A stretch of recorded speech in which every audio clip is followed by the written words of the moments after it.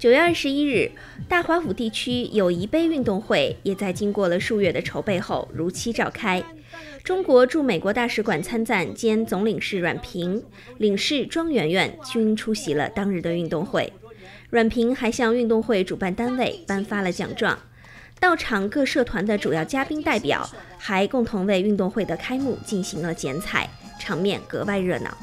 本次运动会由华府大专联倡议发起，得到了华府同乡会联合会、华人专业团体联合会以及华府三大华文教育示范院校——希望中文学校、美中实验学校和哈维中文学校共同协办与支持。